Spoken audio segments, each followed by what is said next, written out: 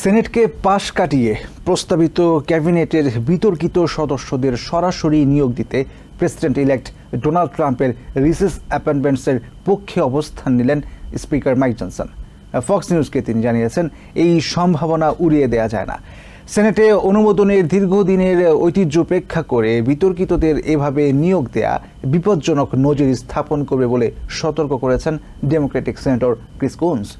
এদিকে transportation secretary হিসেবে সাবেক কংগ্রেসম্যান শন ডাফি এবং এনার্জি সেক্রেটারি হিসেবে ক্রিস রাইটকে মনোনয়ন দিয়েছেন ডোনাল্ড ট্রাম্প ওদিকে এক্সিওস বলছে মারা লাগুতে ট্রেজারি সেক্রেটারির মনোনয়ন নিয়ে ইলন মাস্কের সঙ্গে ট্রাম্পের অ্যাটর্নি ও অ্যাডভাইজার বরিস অ্যাপস্টিনের উত্তপ্ত বাক্য বিনিময় হয়েছে। নির্বাচনে নজিরবিহীন জয়ের পর প্রেসিডেন্ট ইলেক্ট ডোনাল্ড ট্রাম্পের ক্যাবিনেট ধীরে ধীরে পূর্ণাঙ্গ রূপ পেতে শুরু করেছে। লেবার ট্রেজারি কমার্স ট্রান্সপোর্টেশন এবং এডুকেশনে মনোনয়ন নিয়ে চলছিল নানা জল্পনা কল্পনা। এর মাঝেই ট্রান্সপোর্টেশন সেক্রেটারি হিসেবে সাবেক কংগ্রেসম্যান শন ডাফি এবং ক্রিস রাইটকে এনার্জি সেক্রেটারি হিসেবে মনোনয়ন দিয়েছেন ট্রাম্প। বর্তমান প্রশাসনের জলবায়ু নীতি নিয়ে সমালোচনা করে রাইট আলোচনায় এসেছেন।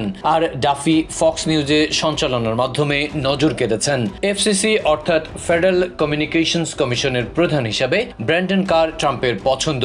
যিনি প্রজেক্ট টোয়েন্টি টোয়েন্টি ফাইভের সাথে সংশ্লিষ্টতায় বিতর্কিত।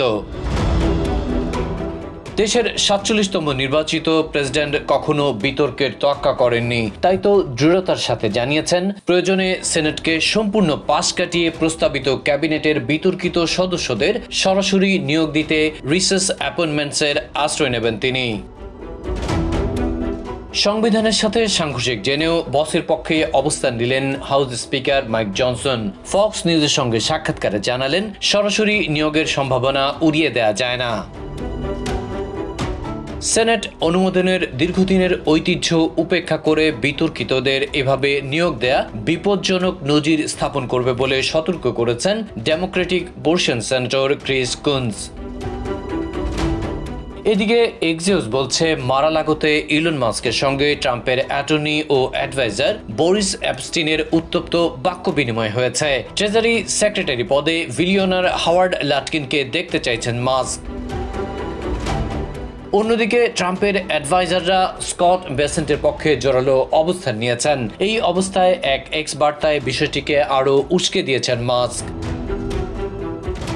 রাজনৈতিক ও অর্থনৈতিক বিশ্লেষকরা বলছেন, ট্রেজারি সেক্রেটারি পুরো বিশ্বে দেশের আর্থিক মডেলের প্রতিনিধিত্ব করে। যেহেতু আমেরিকা পৃথিবীর সবচেয়ে বড় বিনিয়োগকারী, তাই তাকে অবশ্যই সাধারণ মানুষের চিন্তা ভাবনার সঙ্গে সঙ্গতি রেখে চলতে হবে, যা লাটকিনের মাঝে খুব একটা দেখা যায় না।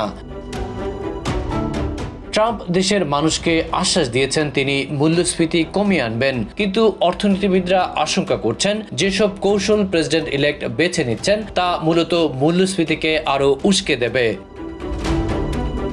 বিশ্লেষকরা আরও বলছেন, একই সঙ্গে শ্রমজীবী এবং বিত্তবানদের স্বার্থ রক্ষা ট্রাম্পের জন্য অসম্ভব হয়ে পড়বে। কর্পোরেট ট্যাক্স কমাতে তার উদ্যোগ সাধারণ মানুষের দুর্ভোগ আরও বাড়াবে।